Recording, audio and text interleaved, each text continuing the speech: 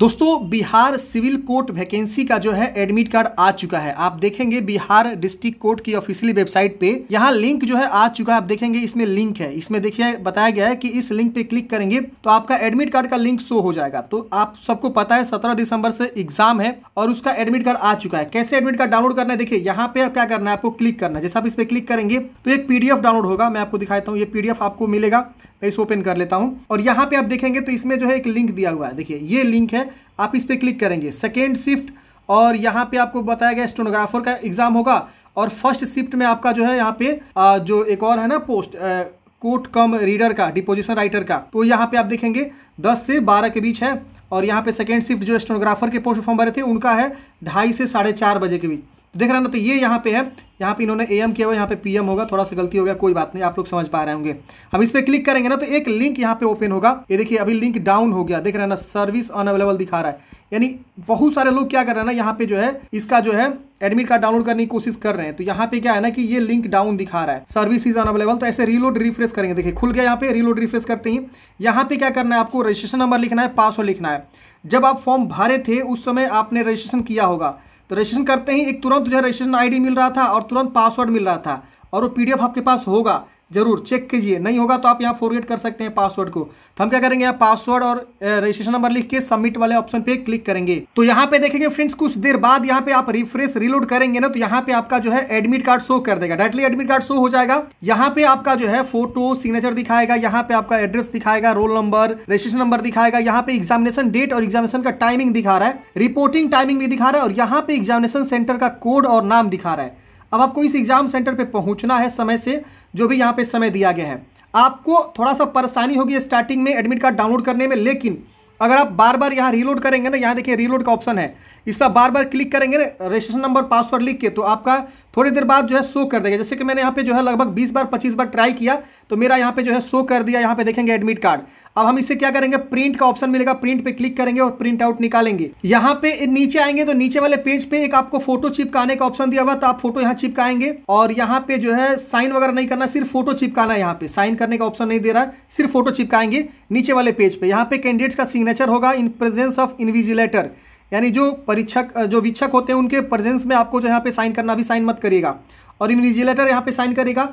और यहाँ पे जो कन्वेनर है, उसका साइन यहाँ पे मिलेगा। तो अभी देखिए, अच्छे से ये डाउनलोड भी नहीं हुआ देख रहा ना, यहाँ पे एरर आ रहा है। यहाँ पे साइन उनका दिखता, लेकिन नहीं दिख रहा है। तो आप इसको भी प्रिंट आउट निकालेंगे। ये जो है आपका क्या है? तो इन्विजिलेटर कॉपी है। देख रहा ना तो एडमिट कार्ड का इन्विजिलेटर कॉपी यहाँ पे वो जमा हो जाएगा, ये वाला चीज़। और एडमिट कार्ड आपके पास रहेगा।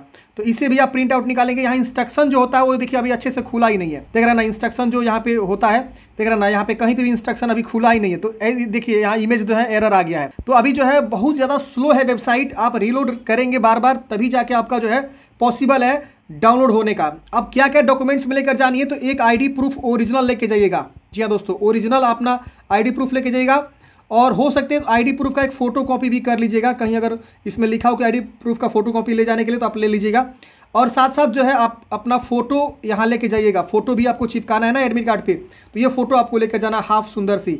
और इसका एडमिट कार्ड का प्रिंट आउट और एक ओरिजिनल आईडी प्रूफ में जैसे Aadhaar card PAN card voter I card कोई एक हो सकता है। ये चीज़ आपको लेकर जाना है। तो ये इंपॉर्टेंट डॉक्यूमेंट्स आपको लेकर जानी बहुत ज़रूरी है। तो ये सब जो है डॉक्यूमेंट्स आप लेकर जाइएगा। अभी वेबसाइट बहुत स्लो देखने को मिलेगा। आप जो है रीट्राई कर सकते हैं बार बार। मैं आपको लिंक जो है डिस्क्रिप्शन बॉक्स में प्रोवाइड कर दिया हूँ। एक और आसान तरीका है फ्रेंड्स आप गूगल में जाएँगे सर्च करेंगे यहाँ पे D S helping for ever देखिए मैं आपको दिखाता हूँ डी एस हेल्पिंग इतना आप सर्च करेंगे तो एक वेबसाइट आपको देखने को मिलेगा D S helping for ever इसको आपको ओपन करना है और यहाँ पे आपको लिंक देखने को मिल जाएगा एडमिट कार्ड को लेकर। देखिए यहाँ पे लाइव अपडेट में ही दिखाई दे रहा है civil court admit card download इस पर आप क्लिक करेंगे, जैसे आप इस पर क्लिक करेंगे फ्रेंड्स यहाँ पे आप नीचे आएँगे और यहाँ पे आपको नीचे आने के बाद से यहाँ पे आपको जो है इंपॉर्टेंट लिंक्स का सेक्शन मिलता है, यहाँ आपको डाउनलोड एडमिट कार्ड का ऑप्शन मिलता है। नोटिस भी यहाँ पे दिख सकते हैं आप।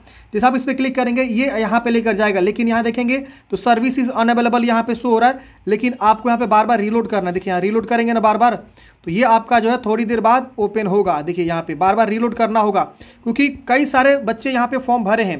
तो यहाँ पे जो है ना ये वेबसाइट खुल नहीं रहा है तो इस तरह से आपको देखिए रीलोड करते ही आ गया। देख रहे ना तो ऐसे बार बार रीलोड करना होगा आपको। देखिए आ गया अब अपना रजिस्टर नंबर पासवर्ड लिख के लॉगिन करेंगे तो फिर से आपको सर, सर्वर एरर देखने को मिल सकता है। फिर से आपको यहाँ पे बार बार रीलोड करना है। बार बार रीलोड करिए। इस तरह से आपको जो है, आपका एडमिट कार्ड शो होगा और प्रॉपर अच्छे से शो होगा, तभी आप उसे प्रिंट आउट करिएगा। अगर अच्छे से शो नहीं होता है तो फिर आप उसे प्रिंट आउट मत करिएगा, वरना वो एग्ज़ाम में वैलिड नहीं माना जाएगा। तो अभी थोड़ा वेट कर लीजिए। आपका एग्ज़ाम सत्रह दिसंबर से है। लेकिन आपके मन में इच्छुक होगा कि कहाँ मेरा एग्ज़ाम सेंटर गया है, मुझे पता है। लेकिन सत्रह दिसंबर से एडमिट कार्ड मतलब एग्ज़ाम होगा तो आप एक से दो दिन वेट कर लीजिए, बहुत ही स्मूथ वर्क करना स्टार्ट हो जाएगा, क्योंकि लाखों बच्चे यहाँ पे एक साथ जो है ट्राई कर रहे हैं एडमिट कार्ड डाउनलोड करने के लिए तो इसीलिए वेबसाइट क्रैश मिल रहा है आपको सर्विस अनअवेलेबल मिल रहा है। तो आई होप आप लोग समझे होंगे, आपके मन में कोई भी डाउट्स है कमेंट है कमेंट बॉक्स में पूछिएगा। मिलता है किसी नेक्स्ट वीडियो में। जय हिंद।